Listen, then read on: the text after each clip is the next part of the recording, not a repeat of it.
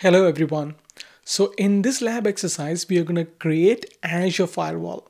And we are going to test this Azure Firewall by creating some rules to block certain IP addresses or certain domains completely. And we're going to test this functionality in this lab.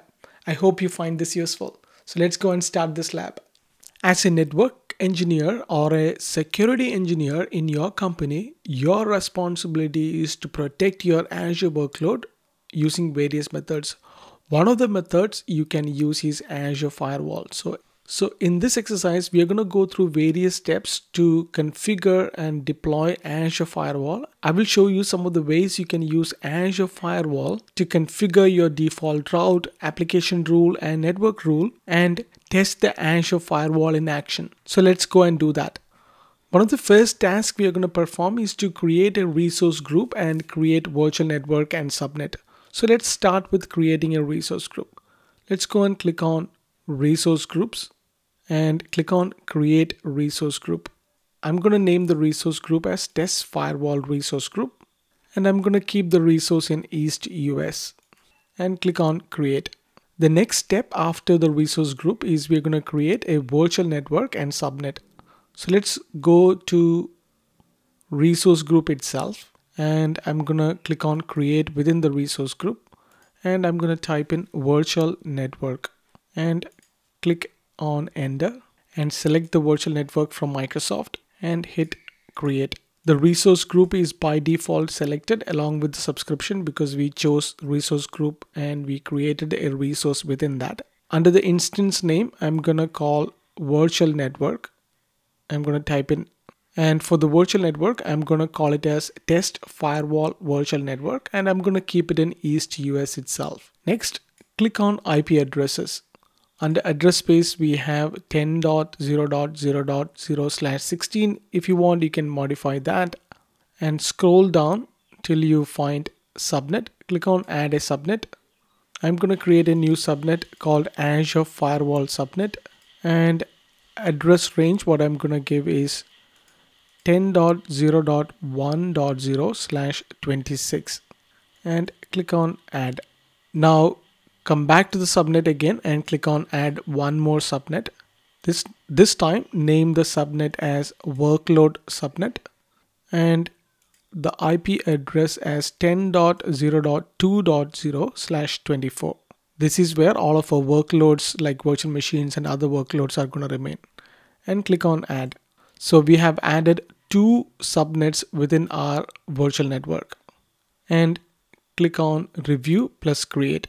After the validation, click on create. Looks like our deployment is completed. So click on go to resource to see your test virtual network. So you can check the address spaces and you can make sure that your subnet is being created as well. So we have both and we can see the available IP address. So the next task is to create a virtual machine. So I have a template built for that. So I'm going to execute that template. So I'm going to use Cloud Shell.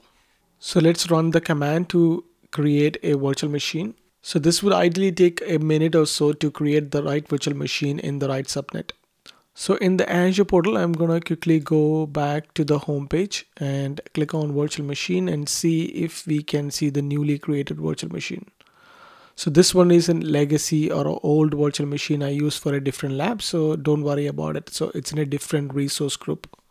So the one we are looking forward to is the virtual machine going to be created under test firewall resource group. So we should be able to see a test firewall resource group here quickly. I'm going to hit refresh one more time. Oh yeah, you can see that there is a new server work is being creating right now under test firewall resource group. So I'm going to quickly hit refresh one more time to see that, okay, so the so the server is created and it is running. So you can click you can click on the server work I'm going to close the Cloud Shell and we can see that the VM is running and let's go to networking and we have a private IP address configured for this server which is 10.0.2.4. Now that we have our virtual machine created, in the next task we are going to deploy the firewall and the firewall policy. So let's go back to the Azure portal on the home page. Click on create resource. Under the search box type in firewall and search and select the firewall one which says it's from Microsoft. Click on create. I'm going to click on create. Subscription is being selected by default. Under resource group, I'm going to select the test firewall resource group we selected before or created before. Under name, I'm going to call it as test firewall one. I'm going to keep it as uh, the East US region, which is where we are keeping all of our resources. Availability, I'm going to keep it none. Under firewall tier, I'm going to change it to standard instead of premium.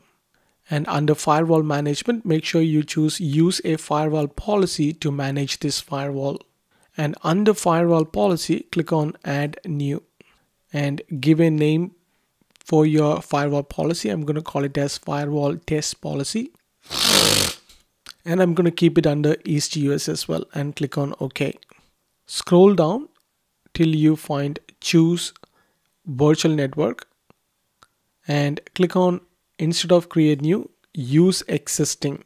Under virtual network select the test firewall network we created and the public IP address I'm gonna click on add new.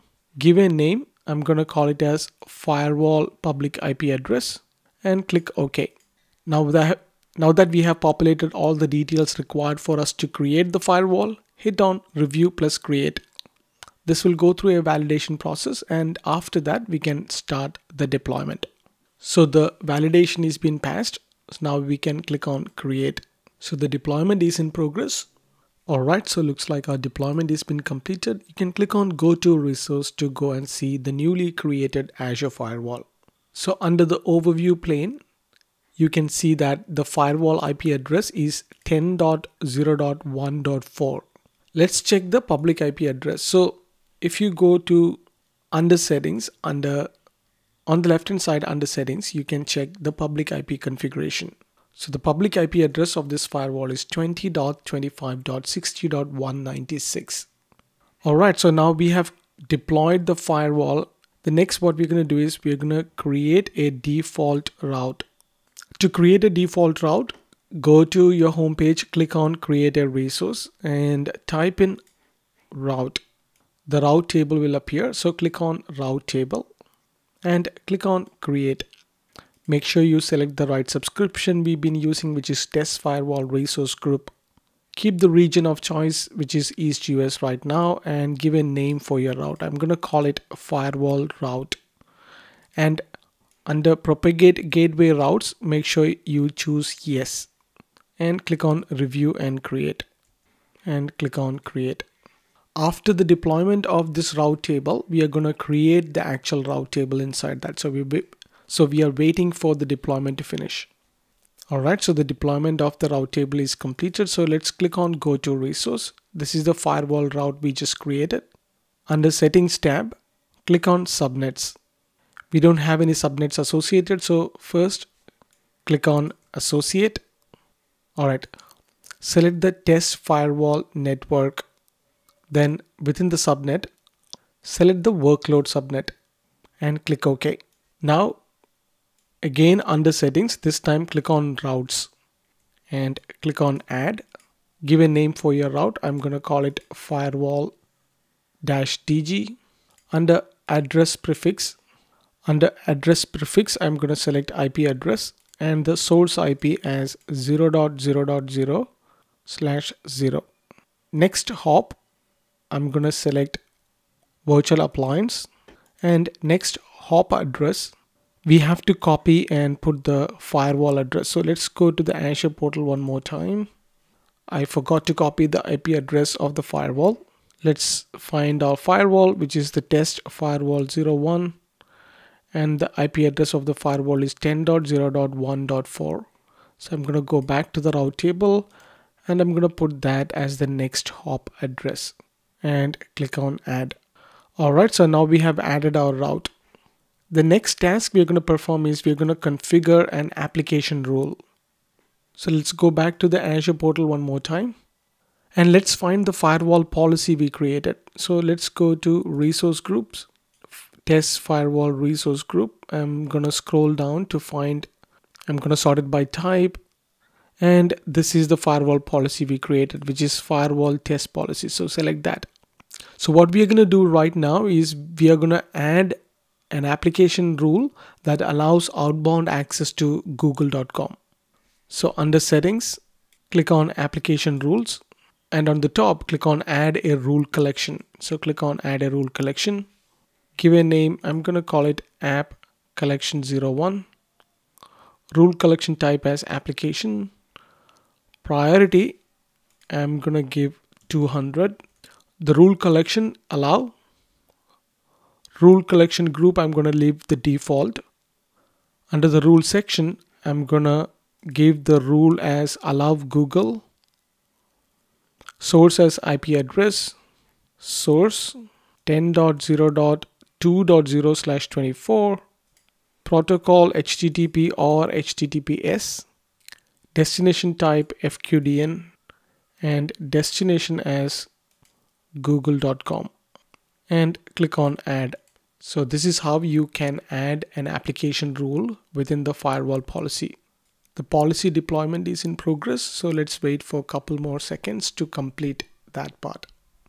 Alright, so the rule is been successfully added. Now in the next task, we are going to configure a network rule. So to configure the network rule, this time we have to go to network rules under settings. So click on network rules. We don't have any rules yet. So click on add rule collection. Give a name. I'm going to call it net collection 01. Rule collection type as network. Priority, I'm going to give it again 200. Rule collection action as allow rule collection group, default network rule collection group. Name of the rule, I'm gonna add allow DNS, source type as IP address. Source IP address is 10.0.2.0 slash 24. Protocol, I'm gonna select UDP. Destination port 53. Destination type as IP address and the destination is this IP address. And these are the public DNS servers operated by the CenturyLink. So what we are doing is we are adding a network rule that allows outbound access to two public IP address at port 53, which is DNS port and click on add. Now it is adding the network rule to the firewall policy. While that is happening, we can go and create a destination NAT rule. So that's so our next task is to configure a destination NAT rule. So while our deployment for the network rule is happening, so we can just quickly go and create the destination NAT rule. So click on DNAT rules. While that is happening, it is successfully added the rule collection. So we can come back to that later and click on add rule collection. Give a name. I'm going to call it RDP rule collection type as DNAT priority again 200 rule collection default which is destination network address translation or DNAT rule collection and rule collection group as default default DNAT rule collection group name RDP NAT source IP address source asterisks protocol TCP destination port 3389 destination type as IP address. And here we need to provide the destination of the firewall's public IP address.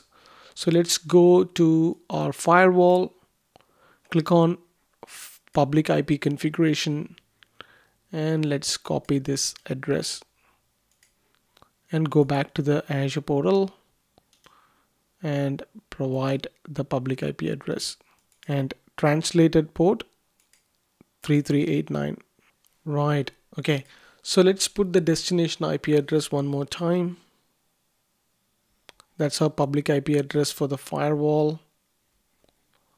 Translated address translated address port is 3389 and the translated port is the server IP address. So let's go and find the server IP address. Go home, the server work, click on networking and copy the network private IP address of the server 10.0.2.4. So translated address is 10.0.2.4 and the port is 3389 and click on add. All right, so now that task is completed. In the next task, we're going to do changing the primary and secondary DNS address for the server network interface. So go to the home page. This time try to find the server and we need to find the network interface of the server. Go to networking and click on server work NIC that is the network interface. On the left hand side under settings click on DNS servers. So here we can provide the custom DNS. So again, this is not a mandatory step. So in the general Azure firewall requirement, you don't have to do that, but we are just, so I'm just showing you an option to change the primary and secondary DNS server for the server if you want to do that in any case. So click on custom and we're going to provide the public IP address and we're going to add one more and hit save. So this is updating at the moment. So we have to restart the server to take this change affected on the virtual machine. So after this is complete, I'm going to go back to the virtual machine and we're going to restart. Cool. Let's go to the server, go to overview and restart. Yes. All right. So we have reached the final stage. So in this final task, we are going to test the firewall. So what we're going to do is we're going to verify that the rules are configured correctly and working as expected. This configuration will enable you to connect a remote desktop connection to the server through the firewall via the firewall's public IP address. So let's go and test that. The virtual machine is still restarting, so we have to give a couple more minutes to do our test. All right, so our virtual machine is restarted. So let's go and test the firewall now. So I'm going to open the remote desktop connection. So go to my local machine and right click and click on run and type in mstsc. So open the remote desktop, click on show options. Here in the computer name, I'm going to type in the firewall's public IP address. So let's go back and find the firewall's public IP. So I'm going to go home, click on the firewall. On the left hand side, click on the public IP address. I'm going to copy the public IP address of the firewall. I'm going to put that as the computer name and use colon and enter port number 3389 and give a username for the computer. So that's test user and I'm going to click on connect. All right, it is asking for credentials. So provide the password for the server. Click OK. Yes. All right, so now we are using the public IP address of the firewall to connect into the server environment. Now we are in the server. Let's go and test if uh, the firewall rules are working or not. So I'm going to launch the Internet Explorer. Let's quickly close all of this. We don't want any of that. Let's launch the Internet Firewall, sorry, Internet Explorer, accept the default settings because this is the first time you're logging into the server. I'm going to accept the default and I'm going to type in www.google.com. So we should be able to access this website. All right, so we are able to access google.com. So now let's try www.microsoft.com we should not be able to access it. As you can see that let me increase it. The action deny reason is no rule matched and proceeding with the default action which is deny action. So we can access google.com but not microsoft.com because of the rule we have set cool so that's the end of the deployment and configuration of the firewall and configuring the rule. I hope you find the information provided in this video helpful. I will see you on the next one. Until then, take care.